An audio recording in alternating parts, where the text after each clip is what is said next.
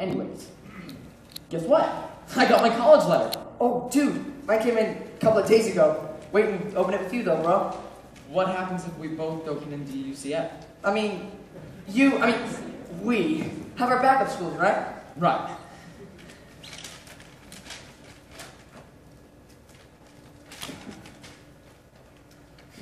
I didn't make it. I did.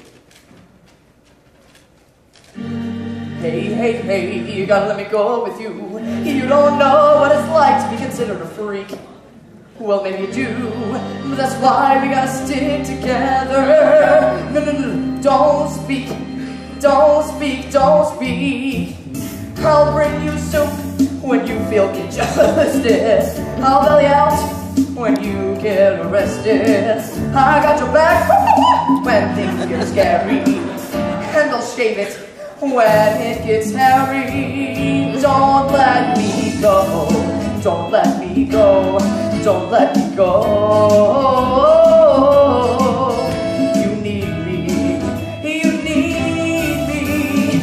I'll treat you right and never act shoddy. If you kill a man, I'll hide the body. So what do you say? You're not responding. I think we're bonding. Don't let me go. Don't let me go. Don't let me go.